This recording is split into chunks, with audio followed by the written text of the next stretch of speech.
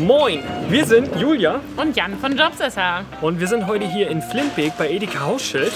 Weil Uschi uns eingeladen hat, einen Blick hinter ihre frische Theke zu werfen.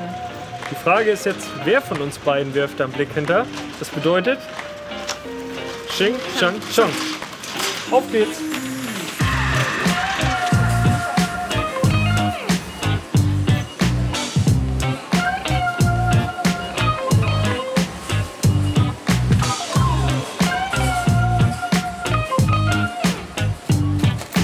So, Hajo, dann bis zum nächsten Mal, ne? Tschüssi! Das sieht super aus. So, Uschi, ich bin startklar. Sehr schön. Mein erster Tag an der frische Theke. Du Sehr machst schön. das Ganze schon ein bisschen länger. Ja, ich bin 14 Jahre jetzt. 14 Jahre? 14 Jahre. Was macht das Ganze denn hier aus? Also was hält dich 14 Jahre hier? Ja, wir sind so eine kleine, große Familie, ne? Freundschaften schon daraus entstanden? Ja, meine beste Freundin habe ich auch hierher geschleppt.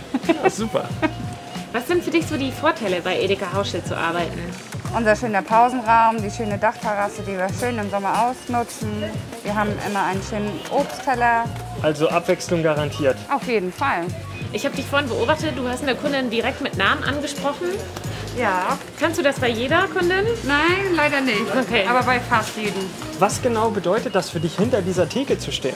Es macht mir Spaß, die Kunden glücklich zu machen. Es gibt viele Klönschnacks, habe ich vorhin mitbekommen, wenn es die Zeit zulässt. Wenn sie glücklich nach Hause gehen können, Ja, bin cool. ich auch glücklich. Hast du deinen Teil dazu beigetragen? So Auf jeden Fall. Perfekt.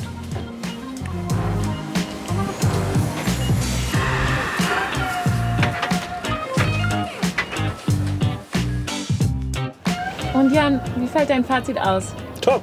Schau es dir an. Du sitzt hier mit einem leckeren Kaffee im Sitzsack, wie hier im Strandkorb. Und ähm, unabhängig von der kurzen Dauer, die wir hier sein durften, hat mir das ähm, Team wirklich, wirklich gut gefallen. Aufgeschlossen, familiär, dynamisch.